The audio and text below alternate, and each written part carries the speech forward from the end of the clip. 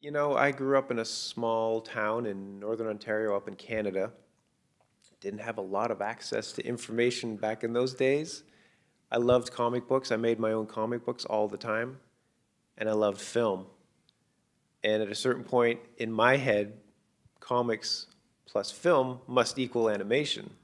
And I applied for uh, the animation course at Sheridan College in Toronto. And I arrived there not knowing a single thing about the process of animation. it's just too many. I mean, I've always been a huge Stanley Kubrick fan.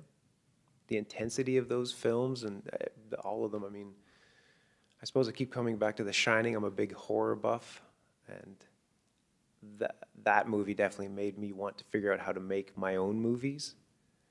Uh, yeah, I feel like a lot of my influences aren't necessarily animated movies, although I have to admit I loved The Secret of NIMH as a kid.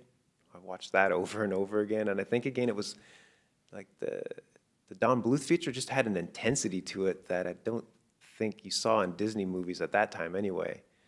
I think that's what's always drawn me to film and art is just finding a way to convey intense emotion moments in it.